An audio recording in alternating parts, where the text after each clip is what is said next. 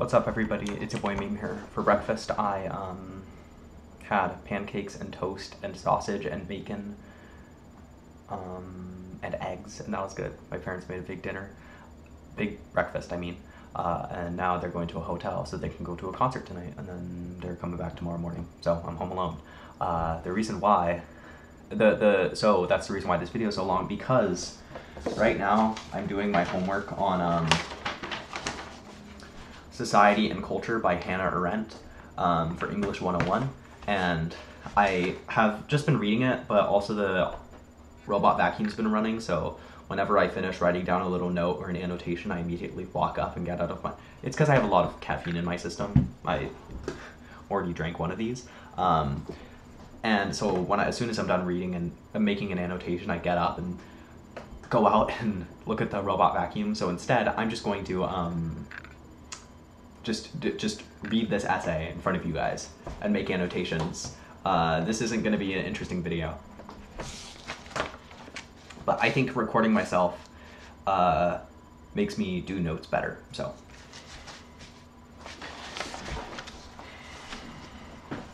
Yeah, I'm just gonna be quiet, pretty much. I'm, I also like to read out loud, but when I'm writing my annotations, you aren't gonna know what they are, and I might try to explain something, but you know. Um,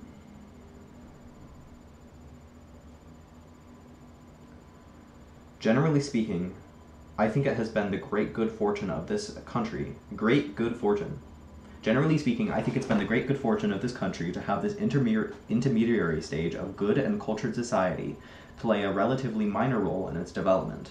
But the disadvantage of this good fortune today is that those few who still make a stand against mass culture as an unavoidable consequence of mass society are tempted to look upon these earlier phenomena of society and culture as a kind of golden age and lost paradise, comma, precisely because they know so little of it. America has only too well acquainted with the barbarian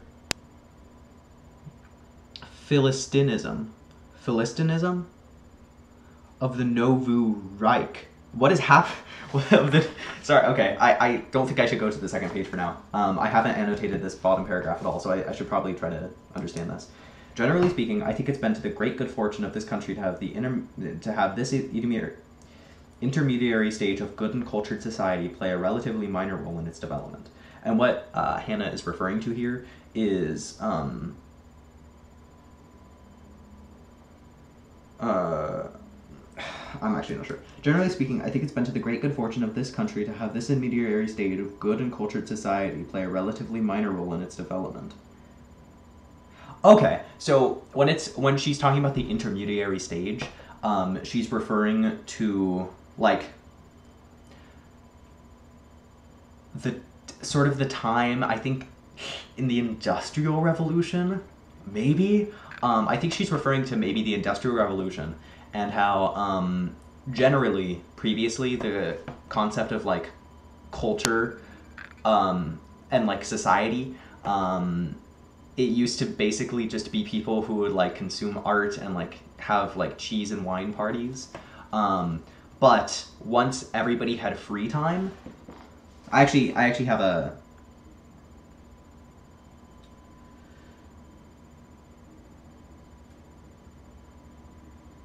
Yeah. So when the first people, uh, this is a note that I took. When the first people to have free time due to industry took advantage of it, thinking that they too were elite, uh, when they were just workers with more free time. So um, the there were so little when when the concept of like I don't know I don't know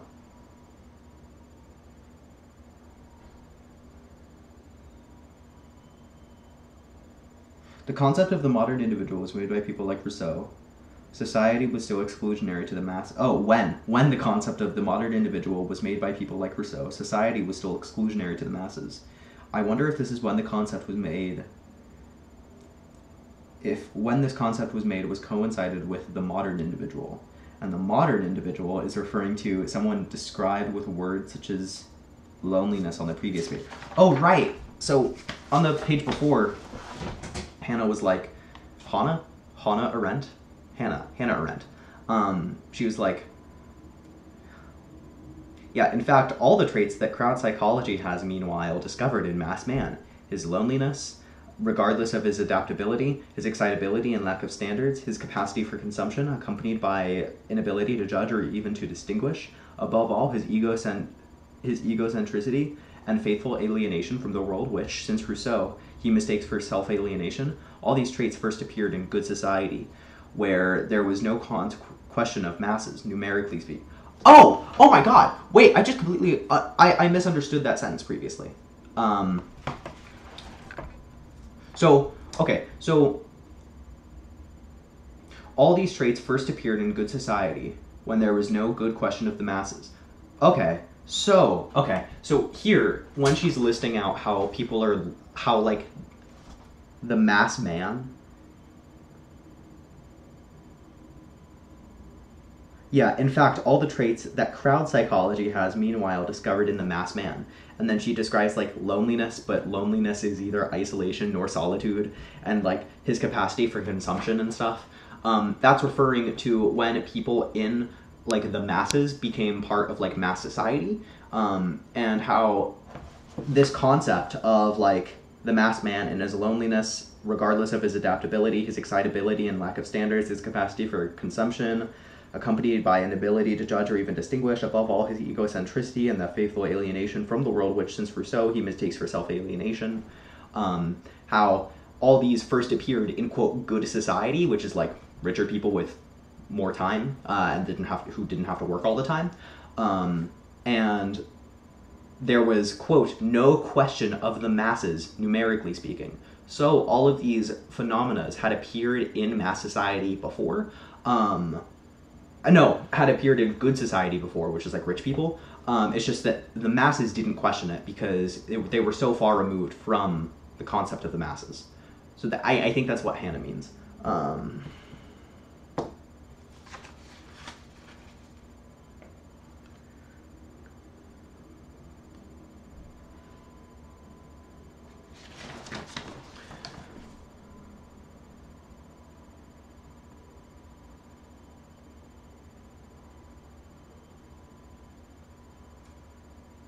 think that's an important thing to write down. This is. I should. Oh my god. That's so annoying. Oh my god. Why did I do that? Okay. Um.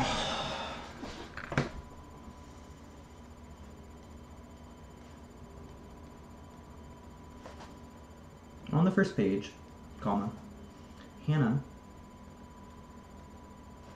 is talking about how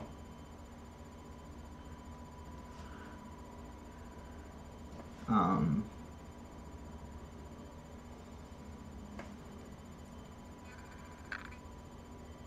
all these negative traits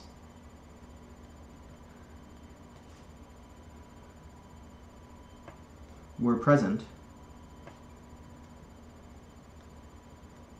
in good society.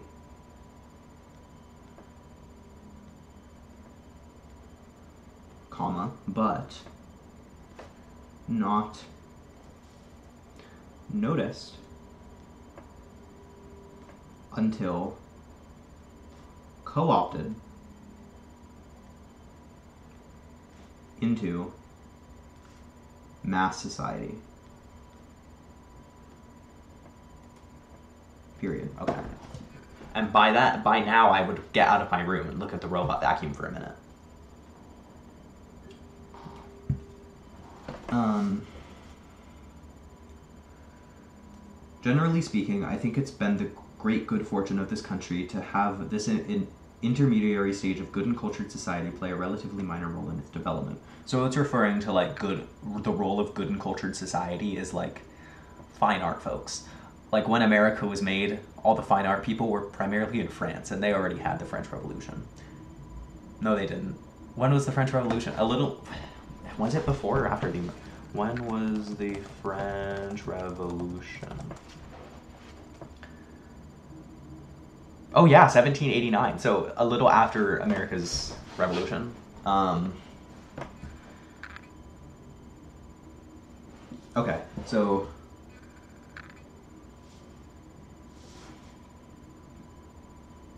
relatively minor role in its development. Good society played minor role in founding America. Pros. I'm going to do a pros and cons list of this because that, that's what she describes afterwards.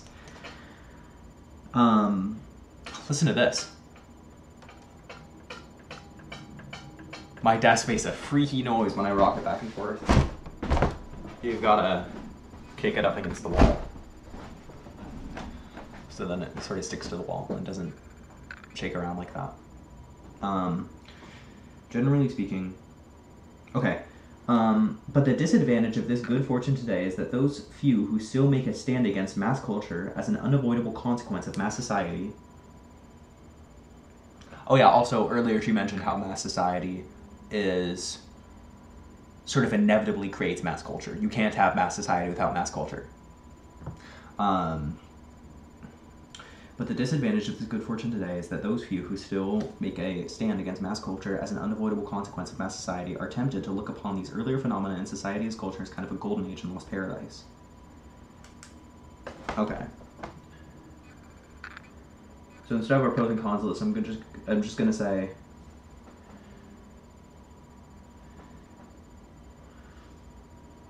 this results in individuals who are against mass culture. Looking toward exclusive exclusionary quote unquote good culture.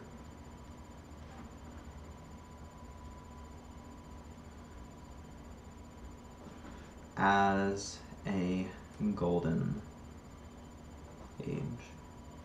And this actually this actually kind of relevant now because you go on X. I'm on Blue Sky by the way. Um, yesterday, was it yesterday? Um, I think it was yesterday uh, I was in the RT Linux Discord server and somebody totally posted a Blue Sky invite code. So I just quickly downloaded the app and um, typed in, made a handle. I'm on Blue Sky now. I'm completely off Twitter. Um, when I first deleted Twitter, uh, I went from Twitter to Threads, and that's when Threads was getting really popular. Threads was fine for a couple days, and now it's just bots. Um, but now I'm on Blue Sky, and Blue Sky is like really good. Blue Sky is a great, great app. Um, it's not as active as Twitter, of course, but um, it's a lot more customizable. Their feed system is really interesting. Um, the app is a little buggy, but it's expected. at the beta. Um, Blue Sky's a lot of fun. Um, I might, you know, if I when I get my invite code, I might invite one of you people. We'll see. Um, but yeah, so you go on you go on X, right, and you see all these people like Culture Critic or whatever his name is, all those people with statue profile pictures, um, who you know, we're born in America, grew up in America usually, or we're just born in like a modern, in like the modern day, uh, and didn't like like what Hannah Arendt says here, like didn't grow up in a time in which um like there was an obvious exclusion between like good society and mass society. Um, and how America just entirely skipped that period because it was like 10 years before the French Revolution, right? The founding of America. So uh, this results in a lot of people who are against mass society, which is fine. You could be against mass society, but it's saying that everybody who's against mass society, um, like,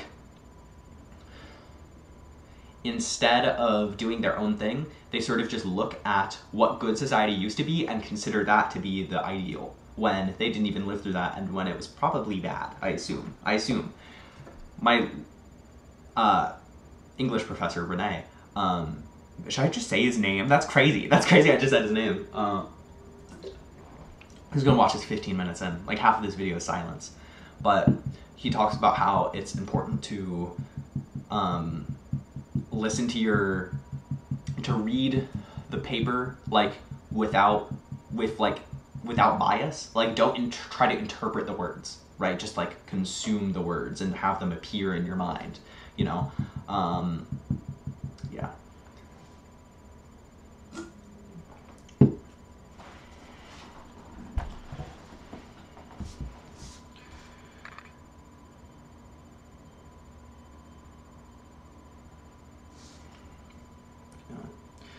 Disadvantage of this good fortune today is that those few who still make a stand against mass culture as an unavoidable as an unavoidable consequence of mass society are tempted to look upon these earlier phenomena of society and culture as kind of a golden age and lost paradise.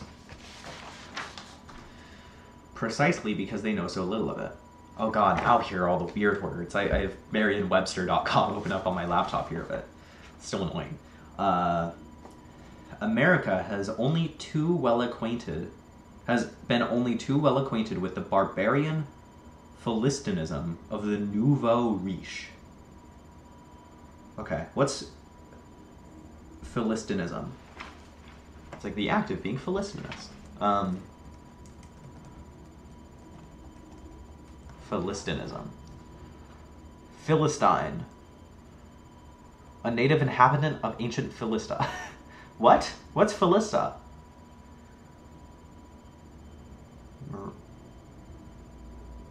A southwestern part of ancient Palestine. Anyway, um, a person who is guided by materialism and is usually disdainful or intellectual and is usually disdainful of intellectual or artistic values.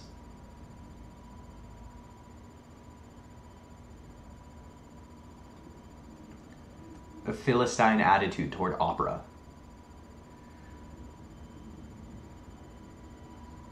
Guided my.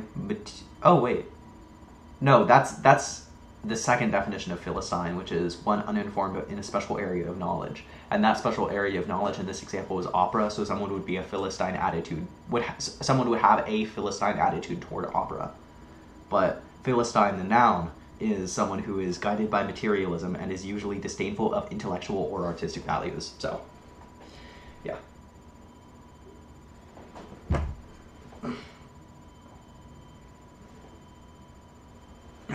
Okay. Um.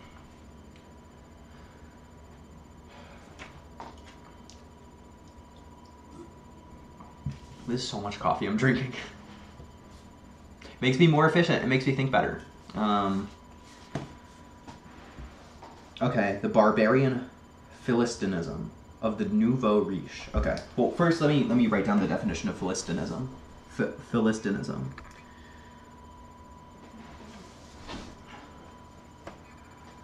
Philistine.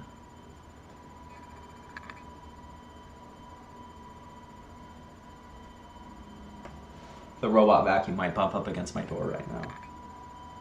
I'm gonna lock my door.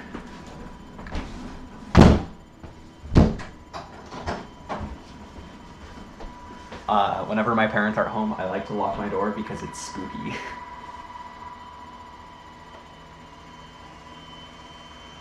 I can see the vacuum right under my door crack.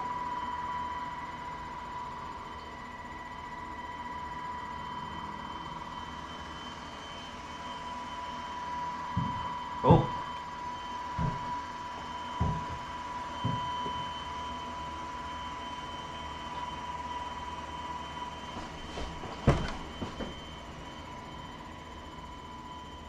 That's crazy.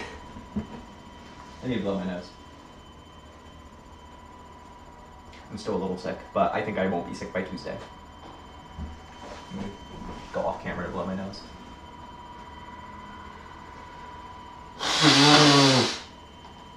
Is that gross to have on like mic? Is it, is it gross I didn't mute myself? I'm gonna do it again. Watch.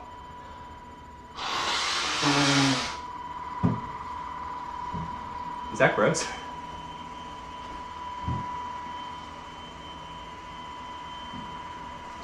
God, see, normally I'd be talking to myself um, instead of recording myself, but you know, I, I seem a little less crazy uh, recording myself talking to myself rather than just talking to myself. Because technically, I could just say I'm talking to you guys. Um. Oh yeah, I'm writing down the definition of philistine. Uh, someone.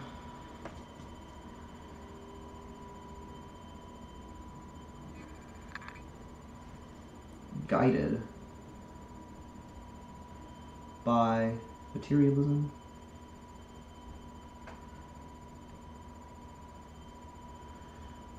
Disdainful.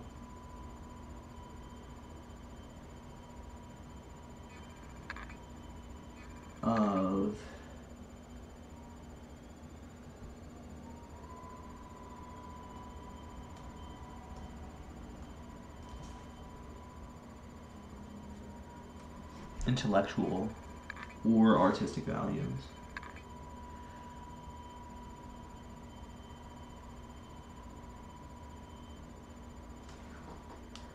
Nouveau riche.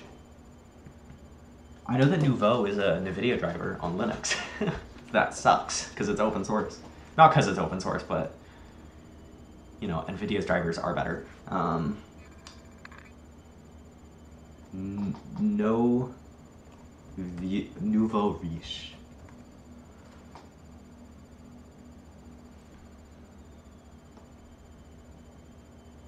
A person of newly rich. Oh, so it's like, oh, nouveau riche. French is a fake language. It's just it's new rich. Okay. Oh, you could just tell nouveau like you could just tell it's new rich. Okay. I'm I'm crazy. Maybe I should understand French. I use the restroom here, back. This time I'm gonna pause my pause my recording before doing a bodily function. The robot vacuum was in the bathroom while I was using the restroom, and so it was it was a little awkward. Um, yeah, so nouveau riche. Nouveau riche. N O U V E A U.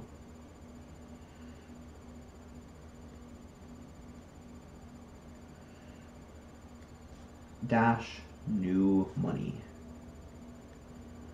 Okay, so let's see if this makes sense. Precisely because they know so little of it, America has only ha, has been only too well acquainted with the barbarian phil, philistinism of the nouveau riche. Oh, phil, philistinism. Okay, okay, okay, okay. Because they know so little of it, America has only been too well acquainted with the barbarian philistinism of the nouveau riche. So the barbarian person guided by materialism, disdainful of intellectual or artistic values, of the n- new money. So people who have like new money are um, guided by materialism and are disdainful of intellectual and artistic values, pretty much. Which is kind of fair. Says me, I, I'm not an authority on that. God, I'm a crazy person. The meta, um, you know when you have a can of something and then there's like a little liquid at the end and you can't get it because of the lip? The meta is to just like shotgun the rest. And then it's empty. It's totally empty. You can put in the recycling and it won't leak everywhere and make the recycling bin sticky.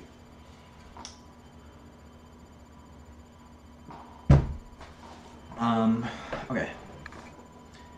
Man, this is gonna be like one of my longest videos. That's crazy. Um,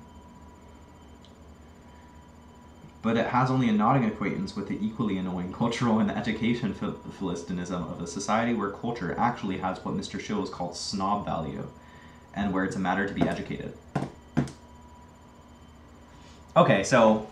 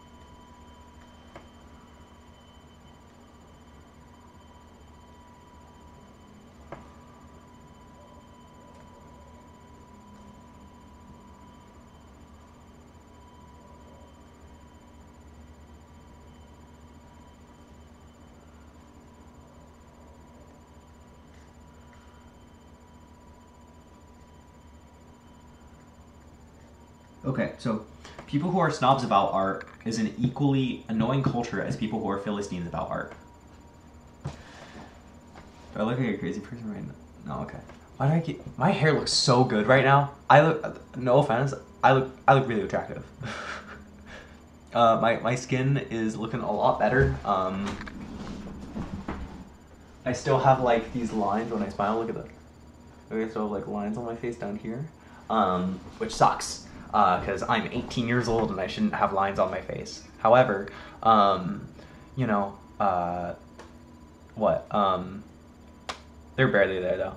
Um, I, what? I'm 18 years. Um, I'm 18 years old and I shouldn't have lines on my face. However, um, I did stop using a lot of the stuff in the morning, like my sunscreen. I stopped using that, uh, and my uh, red like fragranced moisturizer, which I just use because my parents buy it, and uh, and they probably buy it because I use it. But you know, I'd rather them blame them than blame myself.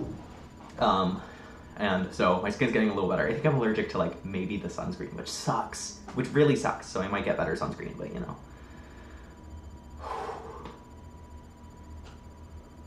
I bought the Yeezy Gap Round Jacket 2 for $300 yesterday. Probably one of my stupidest purchases. I'm a Philistine. No, I'm not a Philistine. I'm, I'm snobby, which is equally as annoying as a Philistine, according to Hannah, but you know. Um, God, a, a, true a true snob would talk about Hannah Arendt on a first name basis, like we're buddies. Um, okay. This cultural Philistinism today in Europe, rather than this cultural Philistinism is today in Europe rather a matter of the past, for the simple reason that the whole development of modern art started from and remained committed to a profound mistrust of not only cultural Philistinism, but also the word culture itself. The cultural Phil- is the next page the last. Ugh. I have three more pages until I read half. It's it's Jover, guys. It's Jover. Um, this cultural Philistinism today is today in Europe rather a matter of the past, for the simple reason that the whole development of modern art started from and made committed to a profound mistrust of not only cultural Philistinism, but also the word culture itself. This cultural Philistinism today in Europe is rather is mat this cultural is the vacuum gonna bump up against my door again? Kill yourself. Sorry. um, okay. Um, this cultural philistinism is today in Europe rather a matter of the past, for the simple reason that the whole development of modern art started from and remained committed to a profound mistrust of cultural philistinism. So the reason why modern art came around is not only because of a distrust of philistinism, which is like people who don't care about art, right? So modern art, according to Hannah, modern art was made because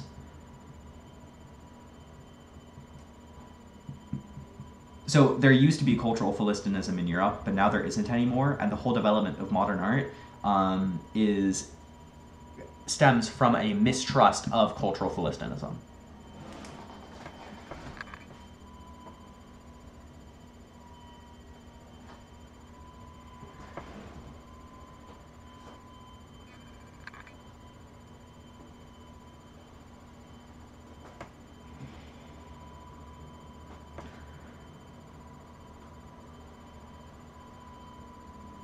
From mistrusting. Mistrusting? Is that a word? Cultural.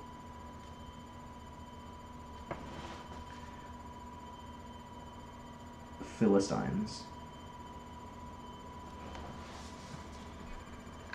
I'm a little bit confused about the part where it talks about the word culture itself because isn't a, a cultural Philistine someone who doesn't care about culture? So, how can modern art not only be a reaction to people who don't care about art, but also people who don't to people who use the word culture. Maybe I'm reading this wrong. I'm not French. I'm not German. I mean, Arendt. That's a German name. She's like, uh, she was like a Jew in Germany, and then she like fled to France, and then Spain, and then New York. And then, she wrote about um, Adolf Eichmann for the New Yorker. Uh,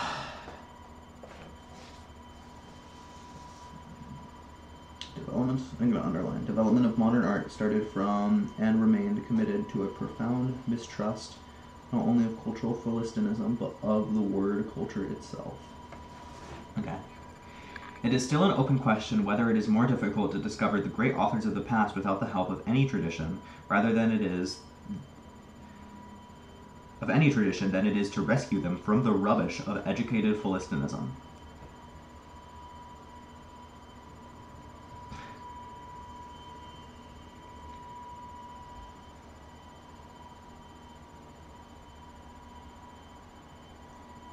Isn't educated Philistinism a contradiction in terms? It is still an open question whether it is more difficult to discover the great authors of the past without the help of any tradition than it is to rescue them from the rubbish of educated. Okay, so Hannah's just being silly here.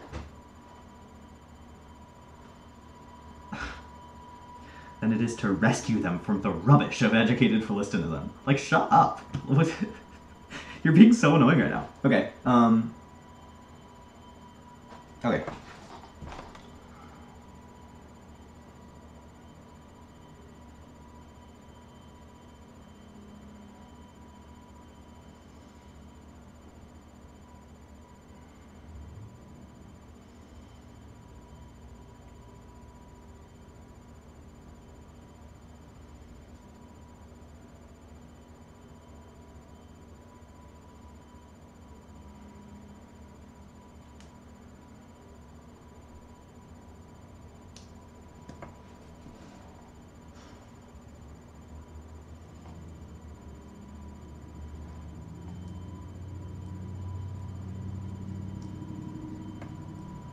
All my friends are dead.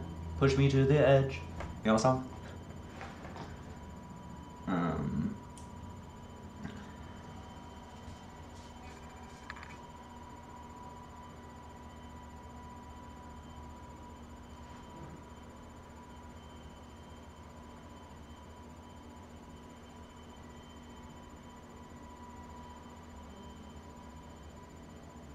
I shouldn't scratch my eyebrows.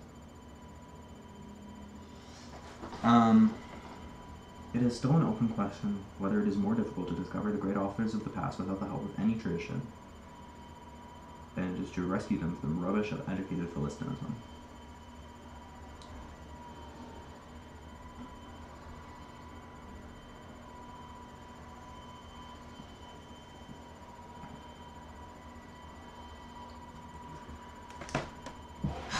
I'll take a note of that.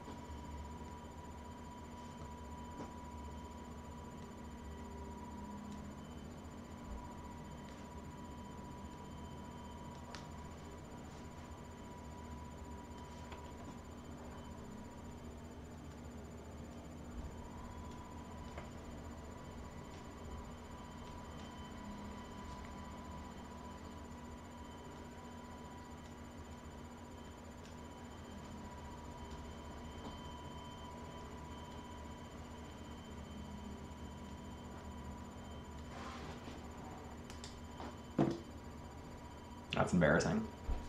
Um, yeah, so I wrote, is it easier to discover past authors with the help of tradition, or to rescue them from the grasps of cultural Philistines? Okay. and this task of preserving the past without the help of tradition, and often even against traditional standards and interpretations, is not the same for the whole of Western civilization. God, okay. I this is one of those where I feel like my English professor is right, in which I shouldn't have any preconceived notions of the text. This woman is a Jewish German American. She fled Germany and the Nazis. She's anything but right wing. However, when you hear people talk about Western tradition, you know, and uh, Western civilization, you know, in America, modern day, your preconceived notions lead you to believing they're speaking about something that I definitely wouldn't agree with. Um, however, I'm sure, I'm sure, I, I'm just, you know, I'm just, when I see things, my mind grasps at straws for what I re- recognized in the past. And whenever somebody rec- uh, talks about Western civilization, they're, it's like Jordan Peterson talking about it. And, you know, I don't really like Jordan Peterson. So I don't think anybody likes Jordan Peterson. So um, I, I feel like I should absolve myself from preconceived notions about people describing Western civilization because this Rene Arnaud, uh, Rene Arnaud, th- this Hannah Arendt essay is way far away from the preconceived notions of 21st century descriptions of Western civilization, you know. Um, so, it is still an open question whether it is more difficult to discover the great authors of the past without the help of any tradition than it is to rescue them from the rubbish of educated Philistinism.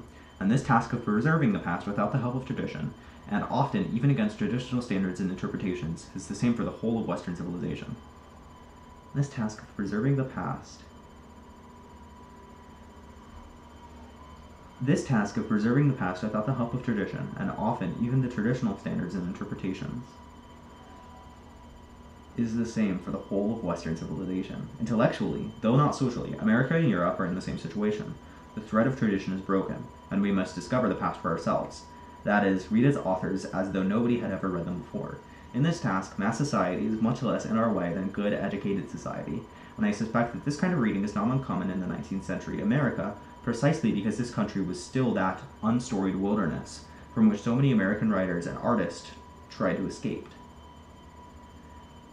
that American fiction and poetry have so suddenly be, have so suddenly and richly come into their own ever since Whitman and Melville may have something to do with this. It would be unfortunate indeed if out of the dilemmas and distractions of mass culture and mass society there should arise an altogether unwarranted and idle yearning for the state of affairs, which is not better, but only a little, only a bit more old-fashioned. what? It would be unfortunate indeed if, out of the dilemmas and distractions of mass culture and mass society, there should arise an altogether unwarranted and idle yearning for a state of affairs which is not only which is not better and only a little more old-fashioned. That's it's so weird how uh, applicable this is to the modern day um, for being written in the 1950s. Um, and the eager and uncritical acceptance of such of such obviously snobbish and philistine terms as highbrow, middlebrow, and lowbrow is a rather obvious sign. For the only non-social and authentic for for the only non-social and authentic criterion for works of culture is, of course, their relative ter- permanence and even their ultimate immortality. The point of this matter is as soon as the immortal works of the past beca- became the object of refinement and acquaintance and acquired the status with which which went with it, they lost their most important and elemental uh, quality, which is to grasp and move the reader or spectator throughout the centuries.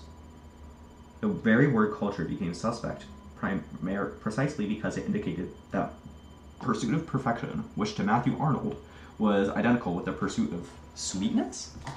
Pursuit of sweetness and light. It was not Plato, but a reading of Plato, prompted by the ult- ulterior motive of self perfection, that became suspect and the pursuit of sweetness and light, with all its overtones in good society, was held in contempt because of its rather devious effort to keep reality out of one's life by looking at everything through a veil of sweetness and light. The astounding recovery of the creative arts in the 20th century, and the less apparent but perhaps no less real recovery of the greatness of the past, began good society as its monopolizing grip on culture, together with its dominant position in society as a whole. Here we are not concerned with society, however, but with culture, or rather with what happens to culture under the different conditions of society and of mass society. In society, culture, even more than other realities, had become what only began to be called a value. That is, a social commodity which should be which could be circulated and cashed in on as social coinage for the purpose of acquiring social status. Cultural objects were transformed into values when the cultural Philistine seized upon them as currency by which he bought a higher position in society. Higher, that is, than his own opinion he deserved either by nature or by birth. Cultural values, therefore, were what values have always been exchange values. In passing from hand to hand, they are worn down like an old coin. They lost the f- faculty which is originally peculiar to all cultural things, the faculty of arresting our attention and moving us. This process of transformation was called the devaluation of values, and its end came with the bargain sale of values. Ausverkauf der Werte, during the 20s and 30s, when cultural and moral values were sold out together. Perhaps the chief difference of, between society and mass society is that society wanted culture, evaluated and devalued.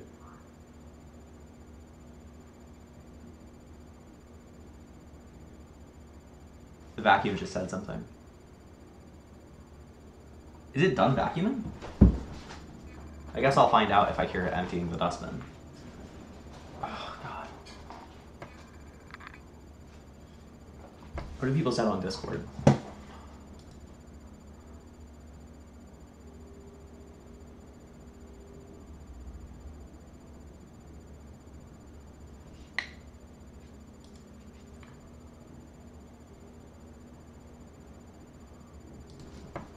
Oh. Well, I can see you can see my body. okay. I'm gonna switch what flannel I'm wearing. One sec. I'm back. I didn't change my flannel. I was just a little sweaty, so I walked around the house, um, and I threw away my cans of coffee, and the vacuum finished. Uh, it was recording because it was like returning to charge. That's why it spoke, um, and so it emptied the dustbin while I was while the video was paused. Um, I'm a little chilly now because it's it's chilly out there. It's chilly outside my room. Oh no! Oh no! I have a coffee stain on, on my on my essay. No. Oh well, it's endearing. okay. Oh my god. And I literally, I was talking to you guys about how there isn't any extra coffee left over in the can after you shotgun it, but I totally just disproved my point. I could have sworn that's the case though. Um. Okay. Okay. Um. Where was I?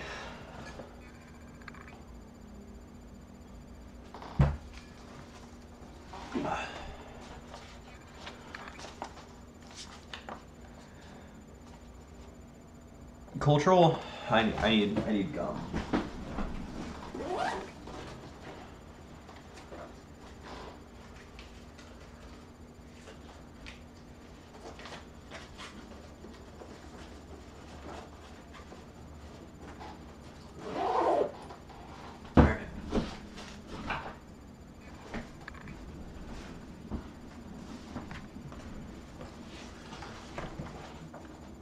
Cultural objects were transformed into values when the cultural Philistine seized upon as a currency by which he bought a higher position in society.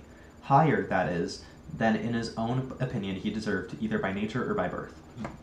We already read this.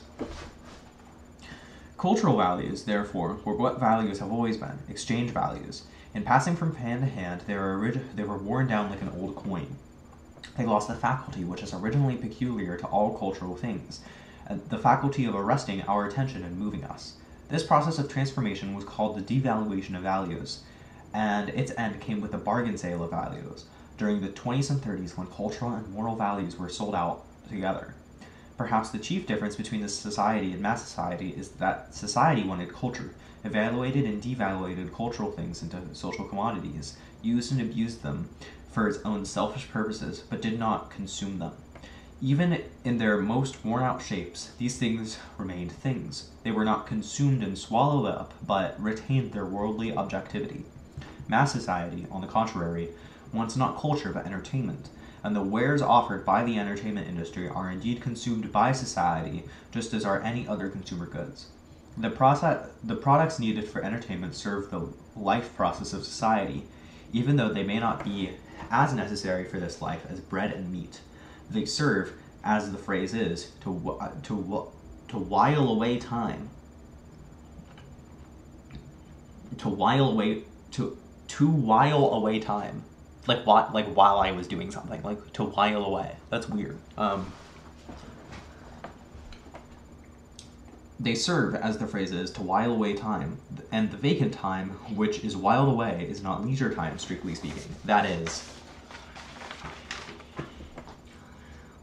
time in which we are truly liberated from all cares and activities necessitated by the life process, and therefore free for the world and its culture. It's, it is rather leftover time, which is still biological in nature, leftover after labor and sleep have received their due. Vacant time, which entertainment is supposed to fill a hiatus in the biologically conditioned cycle of labor. Oh my god. Okay. Um,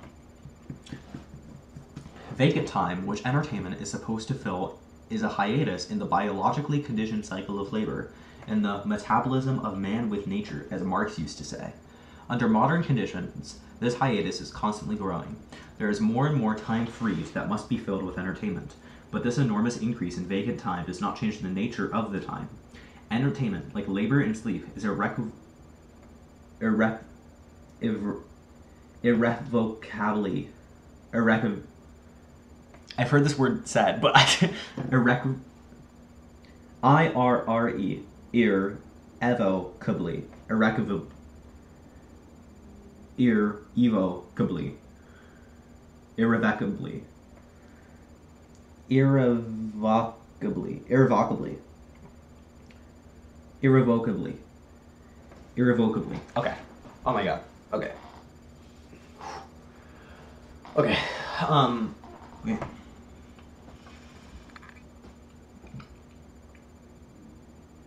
Okay. Are not things, cultural objects whose excellence is measured by their ability to withstand the life process and to become permanent ep-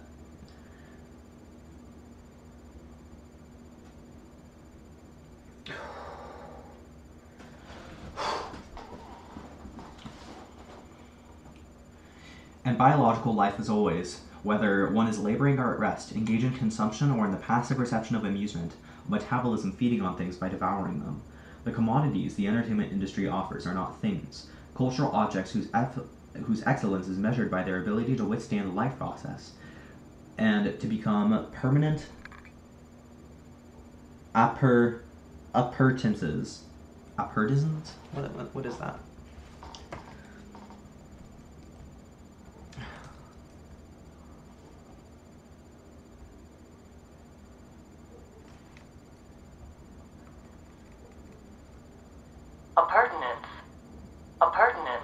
Appurtenance.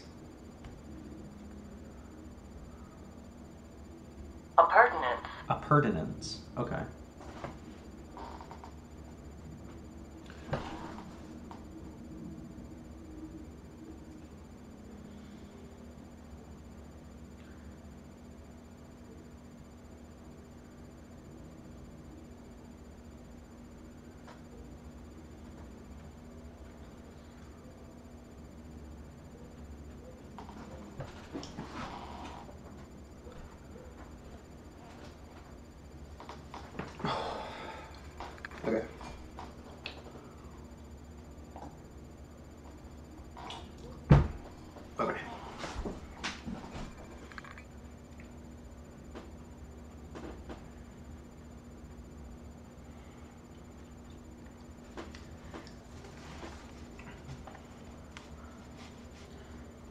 Leftover after labor have slept have received their due. Vacant time Vacant time, which entertainment is supposed to fill with a hiatus in biologically conditioned cycle of labor, and the metabolism of, ma- of man with nature, as Marx used to say.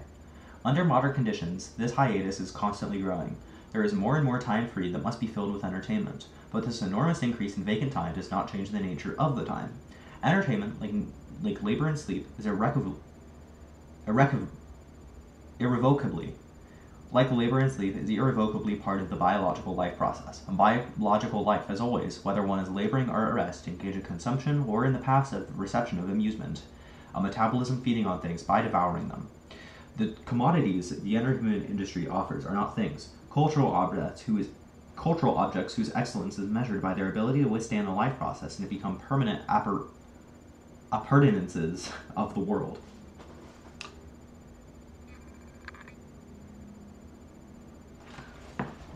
A subordinate part or adjunct.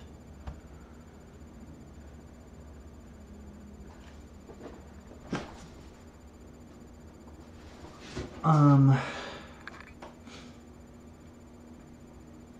So appurtenances either means accessory objects, the appurtenances of wealth, or a subordinate part or adjunct, which is the appurtenance of welcome is fashion and ceremony. To become permanent appurtenances of the world. Accessory, I guess. I guess it means accept accessory objects.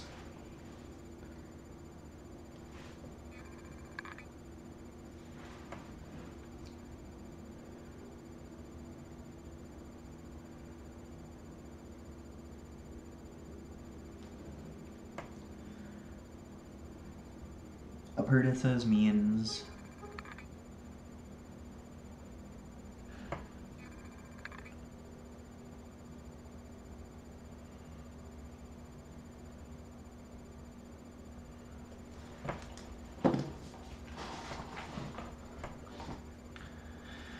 The commodities the entertainment industry offers are not things, cultural objects whose excellence is measured by their ability to withstand the life process and to become permanent appurtenances of the world, and they should not be judged according to these standards, nor are they values which should, which exist to be used and exchanged. They are rather consumer goods destined to be used up, as are any other consumer goods. Panis ed Panis et circenses truly belong together, both are necessary for life for its preservation. What are you saying? It's another French word. French words. Panis et circenses. I'll just look that up. It's not in Merriam Webster. Is a Latin phrase that means bread and circuses. Oh, it's not French. What's the difference? Um, God.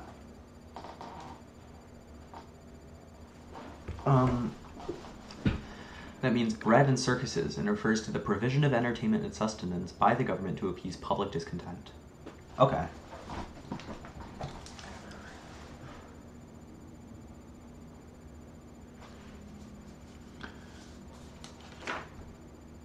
Provision of entertainment from the government.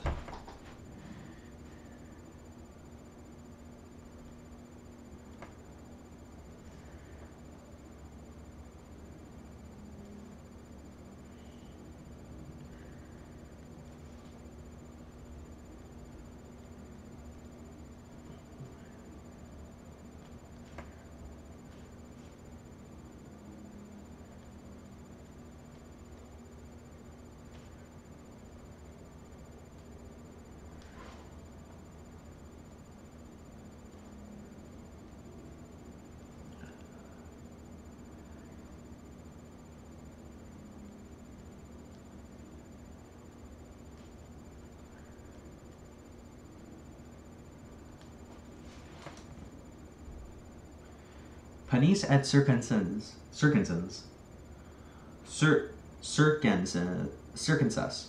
Panis et circumcens truly belong together. Both are necessary for.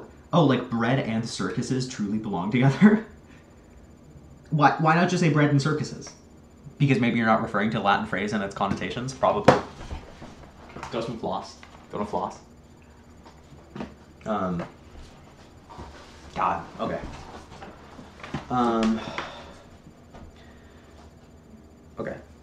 Panis et circenses, truly belong together.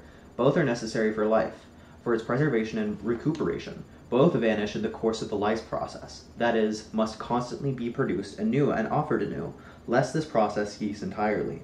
The standards by which both are the standards by which both should be judged are indeed freshness and novelty. The standards by which are today. I'm gonna kill myself. Not actually. I'm, I'm not actually gonna kill myself. Sorry, guys.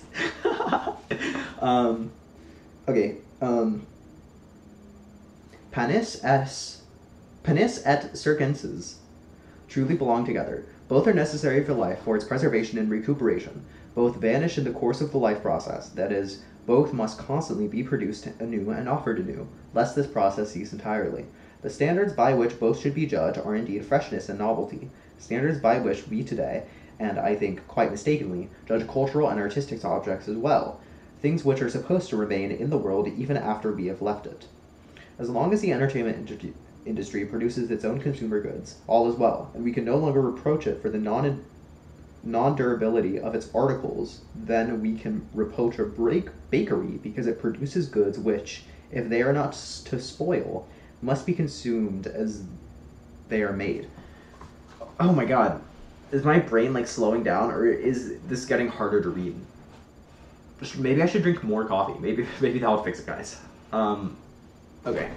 Okay. Okay. Okay. Oh my god. Okay. Our Leo the Peo the movie, and it's reading Hannah Arendt.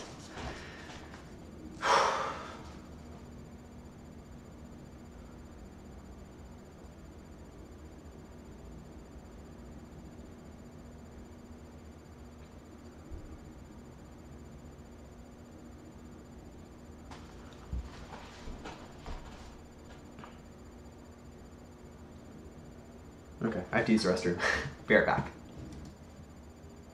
I'm back. I was also on my phone for a long time. it's been about half an hour. Um, so, yeah, back to the, the paper. I'm going to start with Penny, uh, Panis et Circenses. Circenses. Panis et circenses truly belong together. Both are necessary for life for its preservation and recuperation both vanish in the course of the life process. That is, both must constantly be produced anew and offered anew, lest this process cease entirely. The standards by which both should be judged are indeed freshness and novelty. By standards which are we today, and I think quite mistakenly, judge cultural and artistic objects as well, things which are supposed to remain in the world long after we have left it. As long as the entertainment industry produces its own consumer goods, all is well, and we can no more reproach we can no more reproach it for the non-durability of its articles than we can reproach a bakery because it produces goods which, if they are not to spoil, must be consumed as soon as they are made. It has always been the mark of educated philistinism to despise entertainment and amusement because no value could be derived from them. In so far as we are all subject to life's great cycle, we all stand in need of entertainment and amusement in some form or other, and in and okay. Oh my god. Okay, yeah. Whew. Whew. Okay.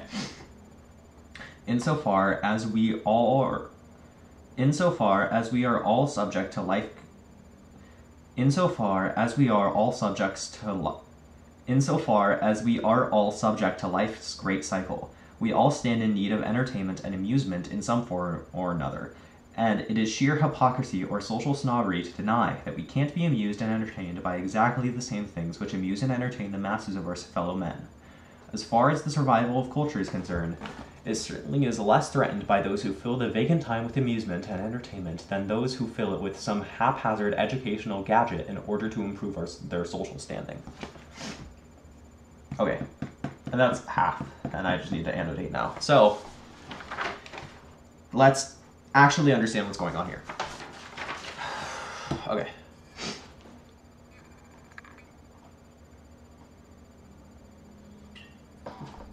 Okay.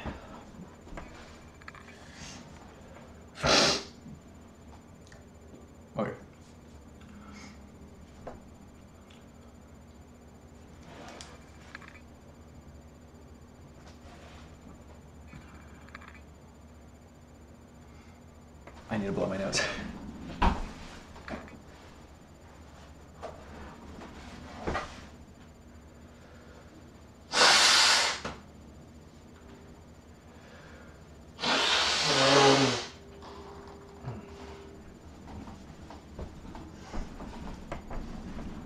Okay.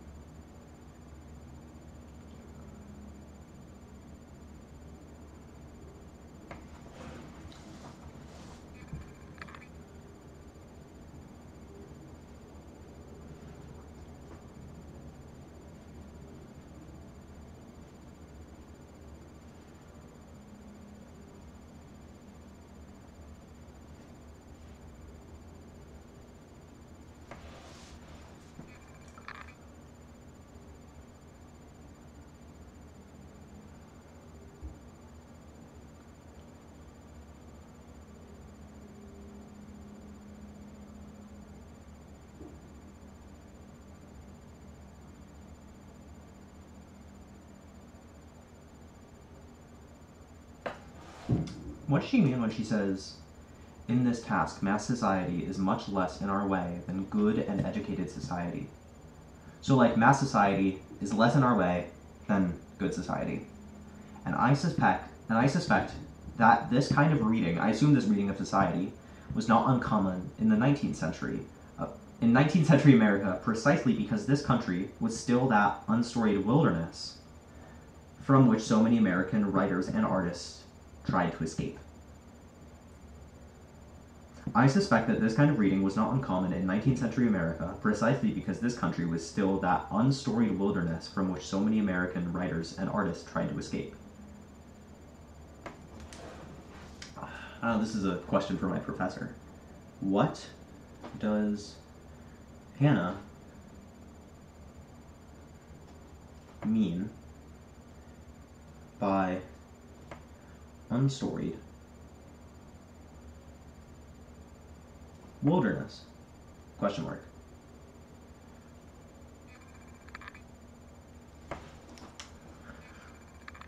It would be unfortunate indeed if, out of dilemmas and distractions of mass culture and mass society, there should rise an altogether unwarranted and idle yearning for the state of affairs, which is not better, but only a little bit more old fashioned.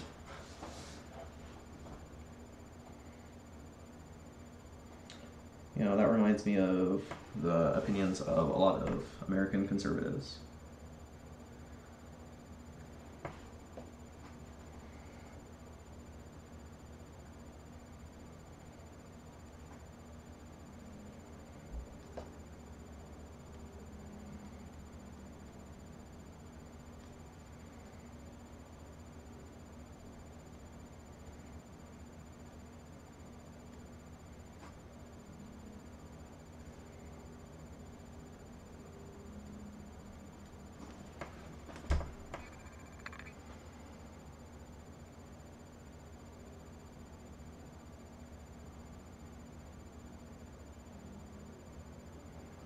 Would be unfortunate indeed if, out of the dilemmas and distractions of mass culture and mass society, there should arise an altogether unwarranted and idle yearning for a state of affairs which is not better, but only a little bit more old fashioned.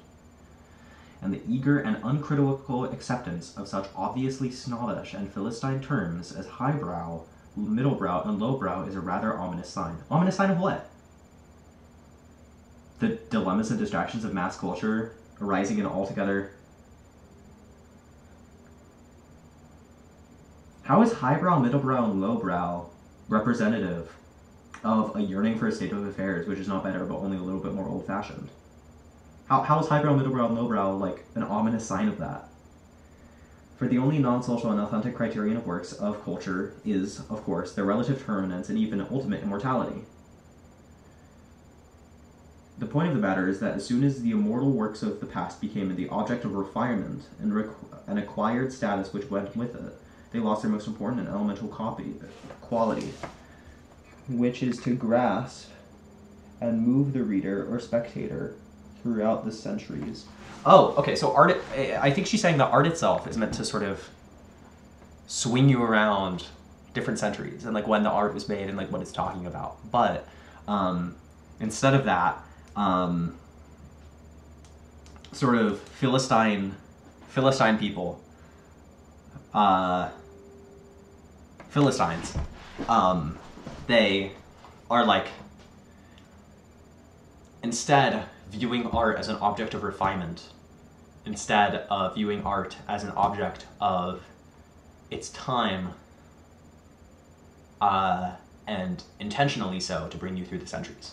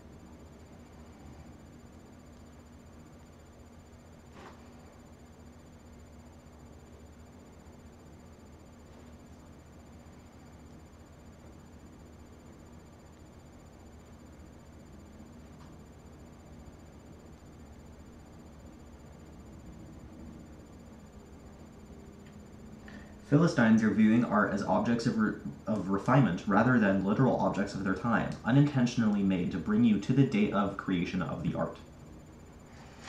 That's sort of what I was describing.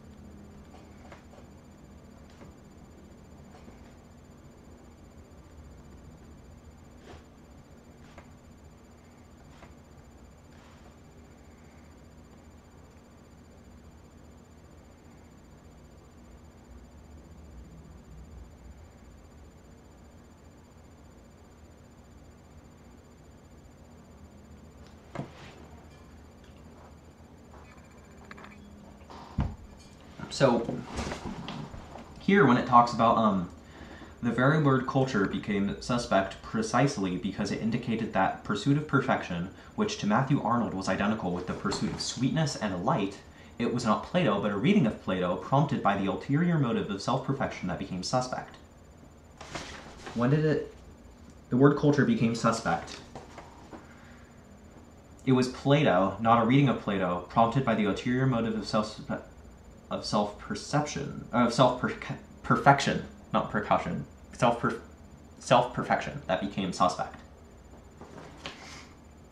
The very word culture became suspect precisely because it indicated that pursuit of perfection, which to Matthew Arnold was identical with the pursuit of sweetness and light. It was not Plato, but a reading of Plato, prompted by the ulterior motive of self perfection that became suspect and the pursuit of sweetness and light, with all its overtones of good society, was held in contempt because of its rather obvious effort to keep reality out of one's life by looking at it through a veil of sweetness and light. So, a reading of Plato, um, sort of veiled by like looking through rose tinted glasses pretty much you're looking at you're looking at plato through rose tinted glasses and these rotated and these rose tinted glasses are the pursuit of sweetness and light. Um, sweetness and light is like has the general vibe of a good society. That's what Hannah means when she's talking about the um, the overtones of a good society. Sweetness and light, like theoretically, seems like a good part of society, but um, it's a rather obvious effort to keep reality out of one's life by looking at everything through that lens. So you know, society is like sort of the way it is, right? And instead of actually making society better, uh, people, I assume that like Philistines or something, um, view sweetness and light, view society through sweetness and light, which um, is an obvious effort to keep reality out of one's life. Yeah.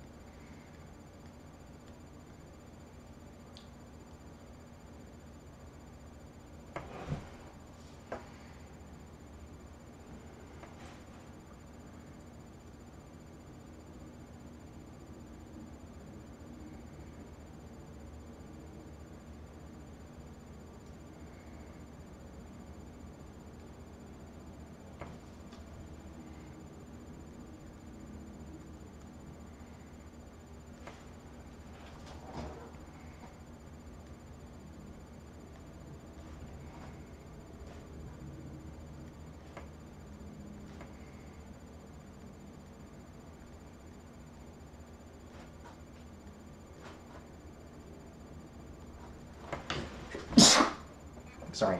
Um,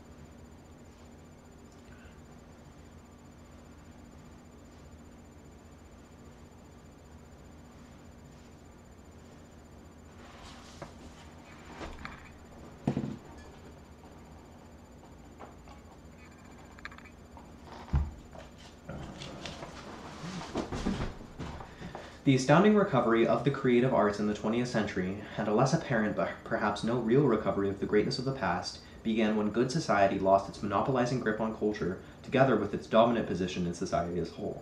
So art came back when good society lost its grip on the culture.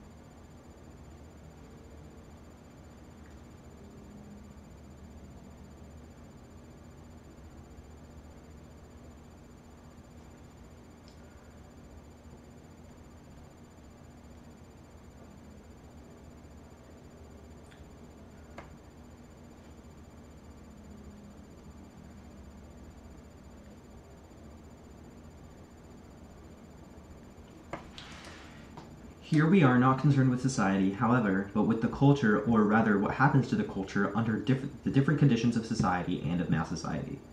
Here we are not concerned with here we are not concerned with society, however, but with the culture. Oh, here we are not with concerned here we are not concerned with society, however, but with culture, or rather what happens to culture under different conditions of society and mass society. In society, culture, even more than other realities, had become only what began to be called a value. Oh god, I already read this. I just it's it's I'm just reading words, but not like comprehending what what just happened. Um,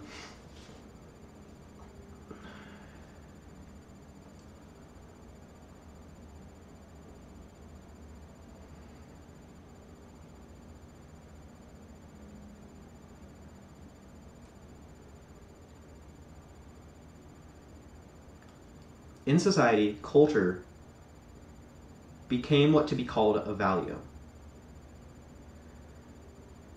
And culture became a social commodity which could be circulated and cashed in on social coinage for the purpose of acquiring social status.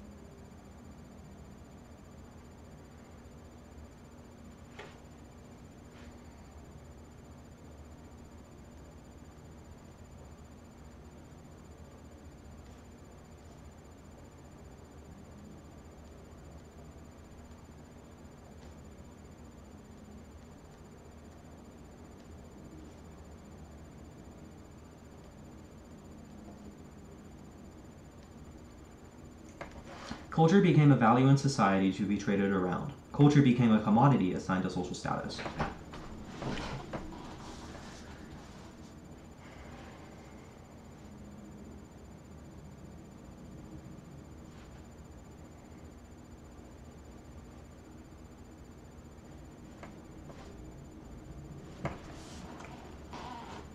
Cultural objects were transformed into values when the cultural Philistine seized upon them as a currency, which he bought a higher position in society.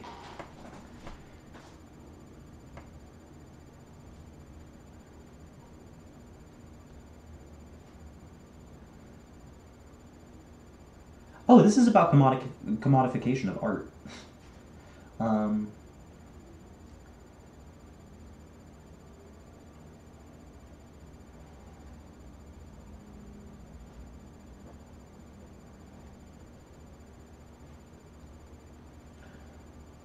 Oh my god, I'm the Philistine who's buying a high. I, I, I bought the Yeezy Gap round jacket, dog.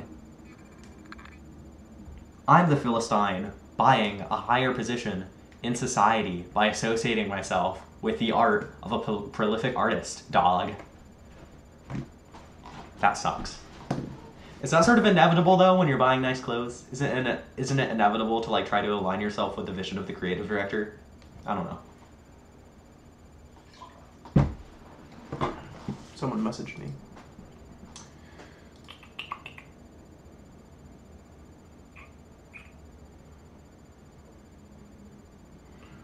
I need a white shoe that's comfortable and looks good, but no Air Forces, because I'm an adult now, and Air Forces are the Little Tikes shoes. I'll respond to that later. um,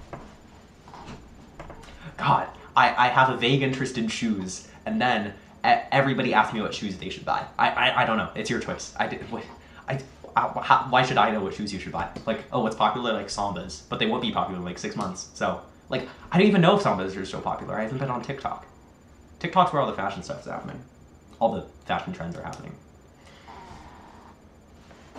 The Philistine, the Philistine bought a higher position in society with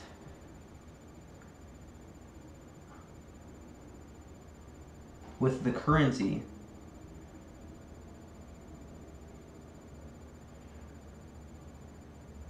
The Philistine bought a higher position in society.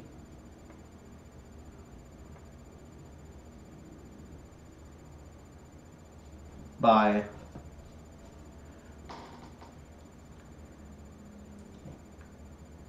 associating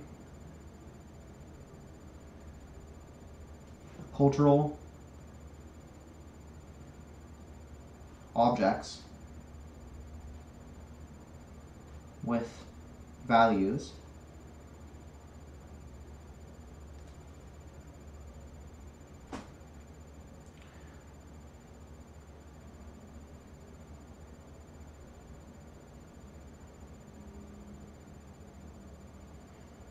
higher that is than it in his own opinion he deserved either by nature or by birth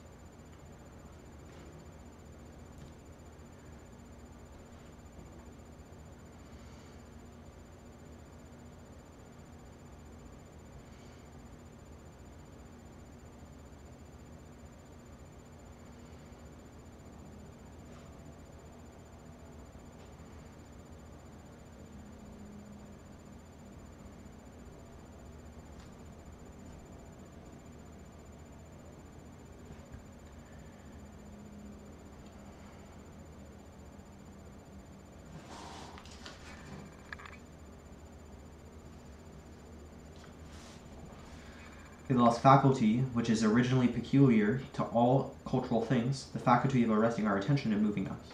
This process of transformation was called the devaluation of values, and its end came with the bargain sale of values during the 20s and 30s when cultural and moral values were sold out altogether.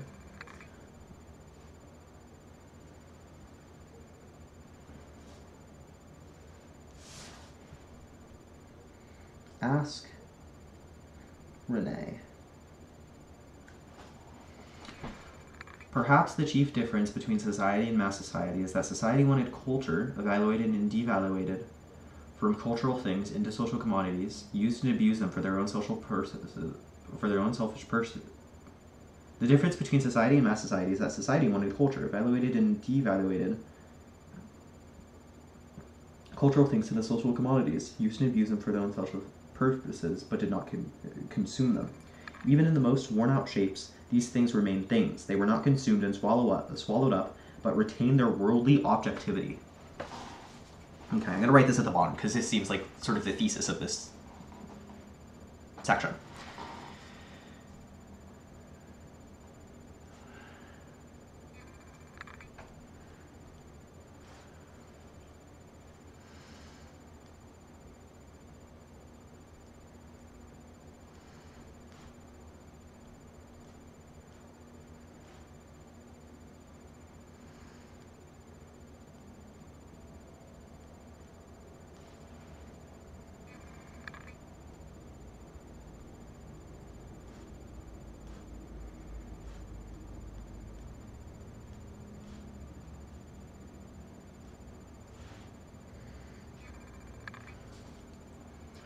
Society did art, it was a currency of culture to be traded around.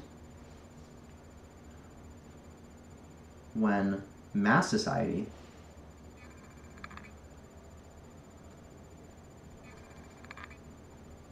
did art,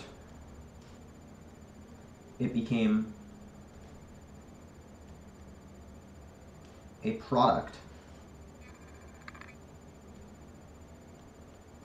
to be consumed.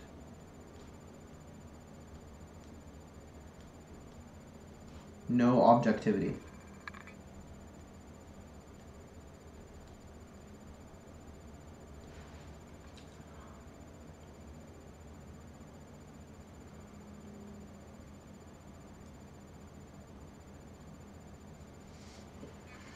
Purely for entertainment.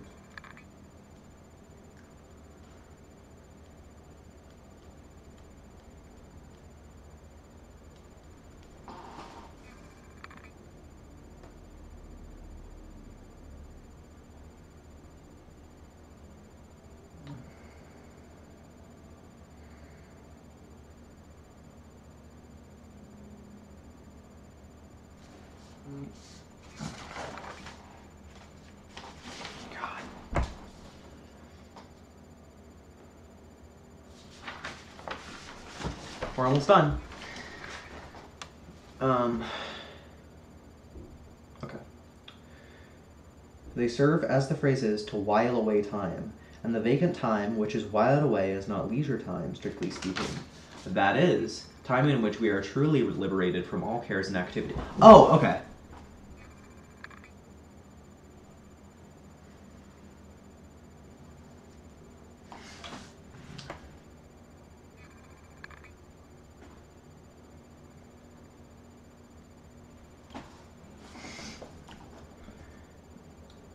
and therefore free of the world and its culture. It is rather leftover time, which is still biological in nature, left over after labor and sleep have received their due. Vacant time, which entertainment is supposed to fill, is the hiatus between a biologically conditioned cycle of labor, the metabolism of man with nature. Under modern conditions, the hiatus is constantly growing. This is so interesting. I'm dying. I'm dying, you guys. I'm actually dying in real life. I'm dying.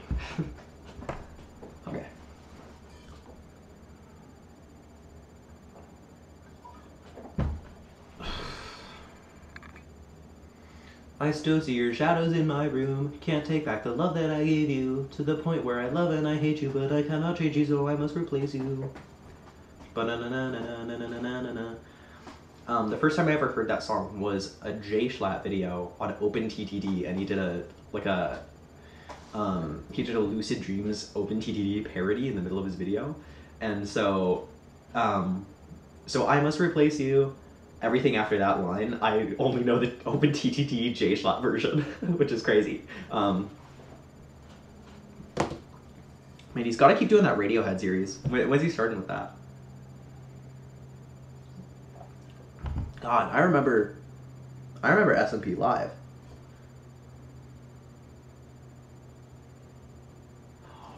Oh my god! I forgot I had an influence on Jay Schlatt's life. Um, wow. Uh, when uh, he was doing SMP Live, he was like, Can I get a PogChamp in the chat? And everybody was typing PogChamp, but I misspelled it and I spelled PogChamo. And uh, he said, Thou, you just said PogChamo. That's crazy. And uh, then he named his pickaxe PogChamo. It was a Silk Touch diamond pickaxe. This was before Netherite was invented. And um, you know he ended up losing it to someone and he has like CallMeCarson if he had Pog Chamo. It was so crazy because it was a message that I sent. It was crazy.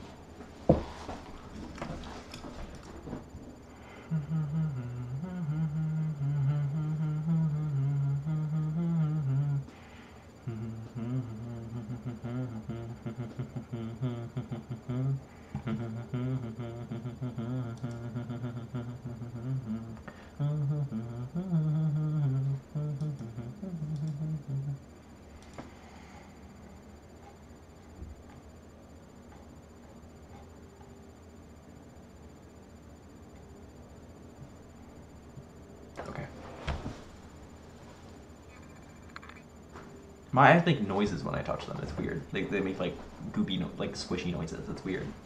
They're just orbs. Like they're just these weird membrane orbs in our heads. They're like as fragile as like. They're so fragile. It's incredible that we don't go blind. Well, I'm. I mean, I guess I am blind. I shouldn't. I really shouldn't be scratching here. I guess I am blind. I need contacts, but like blind, blind, like I'm surprised we can see with how sensitive our eyes are.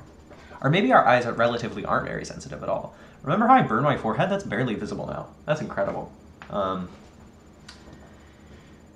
okay. Which we are truly liberated from all, all cares and activities necessitated by the life process, therefore free for the world and its culture. It is rather leftover time, which is still biological in nature.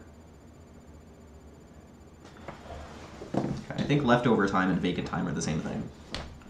So I'm going to highlight them both to imply that they're the same. Look at how nice this highlighter is. It's like clear, so you can see what you're what you're highlighting. Um, really fancy highlighter. It's it's nice. Sharpie, Sharpie highlighter. Um, and it's like it's shaped like a like a stupid like disposable vape. God, I'm so happy I'm not addicted to nicotine. That stuff is so crazy. God, nicotine is so cringe. Nicotine addiction is like so so cringe and L respectfully. Um, like just smoke weed. Like what? Like it's so crazy. Like like shut up. Like it's so like nicotine addiction is so stupid. Um, God, God, it's because my it's because my parents smoke. Um, well, my mom used to smoke. My dad still smokes, and it's just you know like you, you can see you can see what it does people. Like it's crazy. Um, I, I'm sure I've talked about that on this channel. Um, okay, so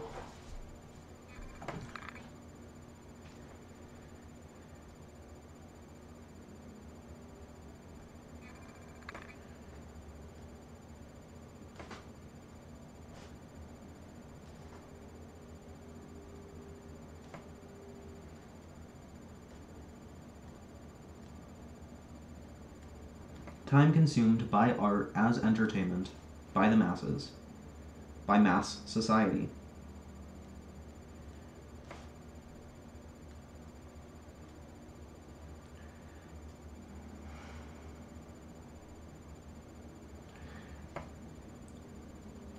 Is not leisure time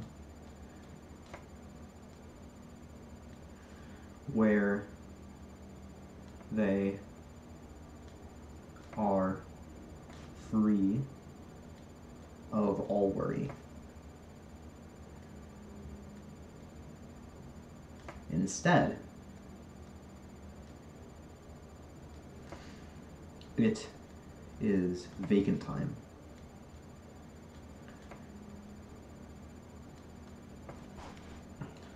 The time that isn't biologically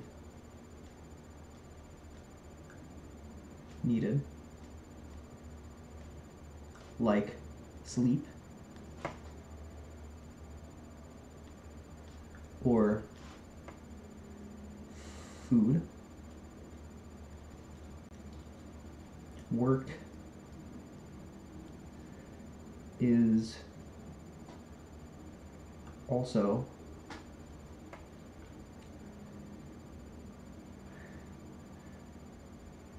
biologically work is also biological yet it is also conditioned. Okay. Co- time consumed by art as entertainment by mass society is not leisure time where they are free of all worry. Instead it is vacant time the time that isn't biologically needed like sleep or food. While work is also biological yet is yet it is also conditioned under modern conditions, this hiatus is constantly growing. There is more and more time free that must be filled with entertainment, but this enormous increase in vacant time does not change the nature of the time. Entertainment, like, uh, like labor and sleep, is, irrec- is irre- irrevocably part of the biological life process. And biological life, as always, whether one is laboring or at rest, engaged in consumption, or in the pa- passive reception of amusement, metaboli- a metabolism for feeding on things by devouring them.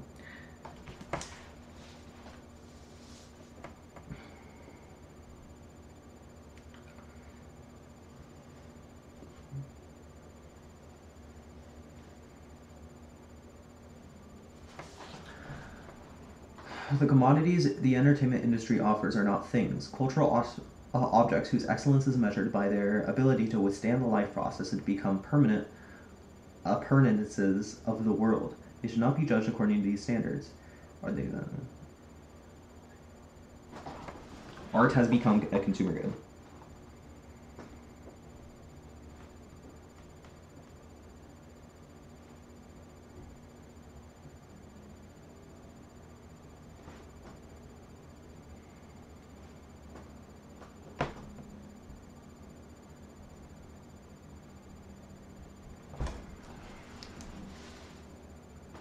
Panis et circenses truly belong together. Both are necessary for life, for its prever- preservation and recuperation, and both vanish in the course of the life process.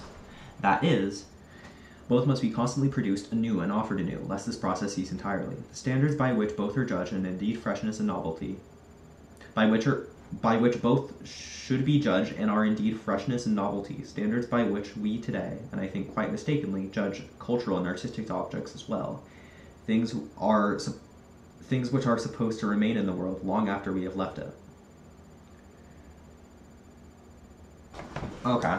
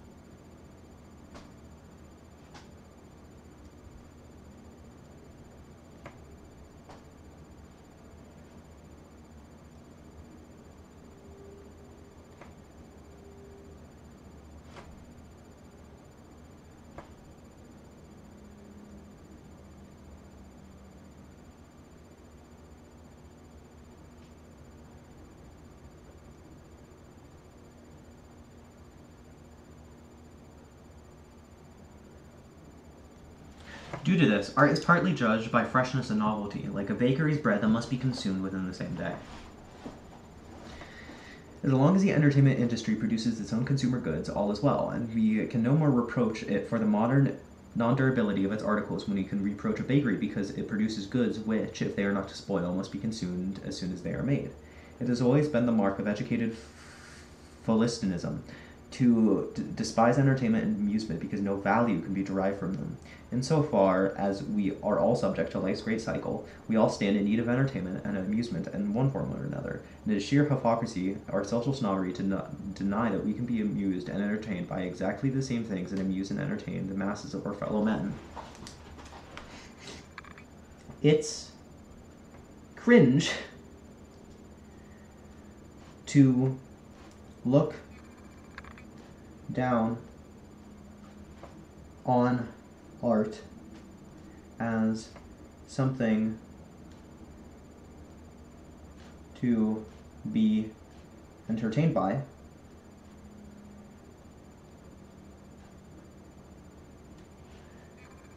Because everyone needs entertainment.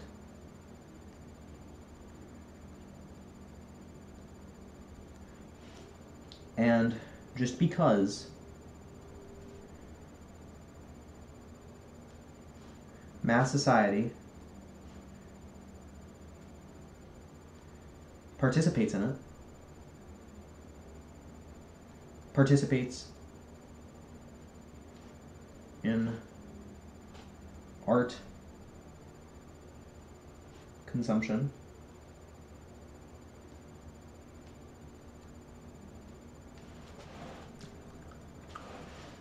Doesn't mean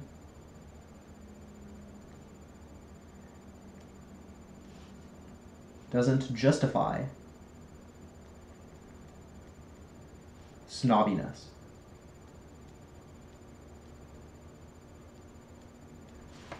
It's cringe to look down on art as something to be entertained by because everyone needs entertainment, and just because mass society participates in art consumption doesn't justify snobbiness. Okay, and I think that's about half. Um, my English professor told uh, the class to read half by the next class, and next class is on Tuesday, so. Wow, that's pretty much it.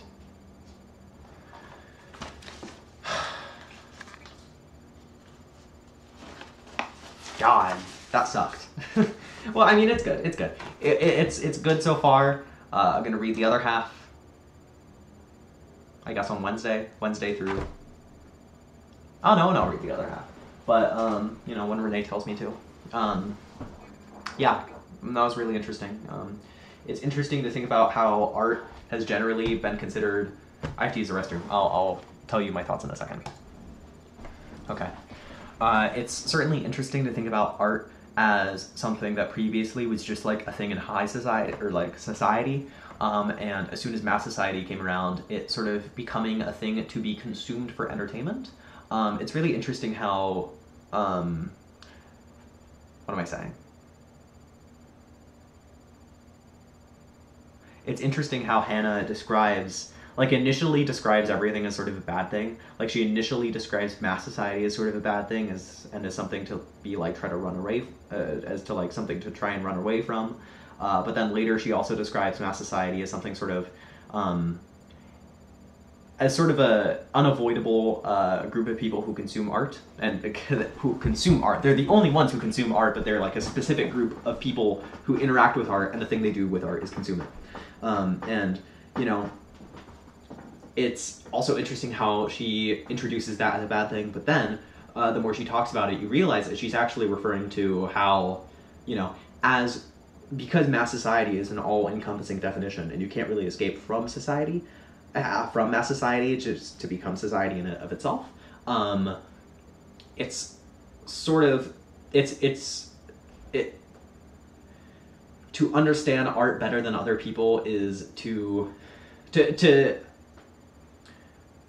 to view art hmm, just because mass society consumes art doesn't mean that we're all not humans who biologically need entertainment and it also doesn't mean that you can look down on other people for just consuming art rather than like critically analyzing it um, however but because, because of the mode of production that we're in it, it makes sense um, when, the mass society consumes art they're also referring to um, like what am I saying? When mass society consumes art, they're also um, not participating in pure leisure time where they have no worries. They are participating in vacant time, the time in which they are not fulfilling their biological needs. You know, so they're replacing it with a biological need of entertainment, but it's not a vacant need. Uh, it, but it is a vacant need. It's not a. Um, it's not. It's a. It's a taking place during vacant time, not leisure time. Um, yeah, and the whole thing is is interesting. Um, I assume I'm gonna have a more nuanced perspective on it when literature class happens because I sort of still have no idea what I just I, I know what I just read, but I kind of don't. Um, so we'll find out next time. All right, see you. Man, hour and hour and a half long video. Man, would you watch a Leo the Peo the movie? Want to come over and watch the Leo the Peo movie, guys?